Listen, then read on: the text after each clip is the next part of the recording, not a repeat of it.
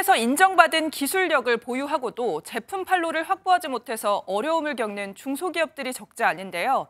이런 혁신 기업들의 기술력을 알리고 또 수출 기회까지 제공하는 자리가 마련됐습니다. 이승훈 기자가 취재했습니다.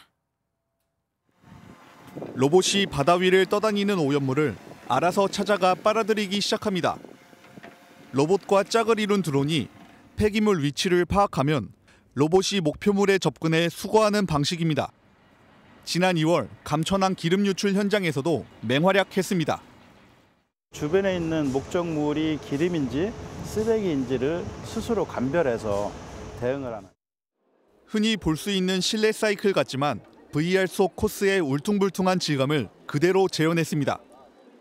실제 오르막길을 오르는 느낌을 줘 1분만 페달을 밟아도 숨이 차오를 만큼 운동 효과를 볼 수 있다는 게 업체 측 설명입니다.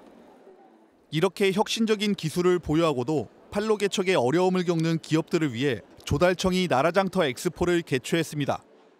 올해로 24회째를 맞는 행사에는 역대 최대 규모인 650여 개 기업이 참여했습니다.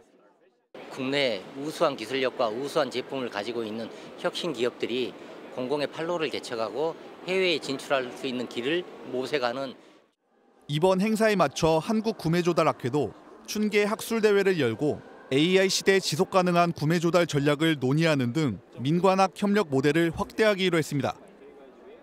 MBN 뉴스 이승훈입니다.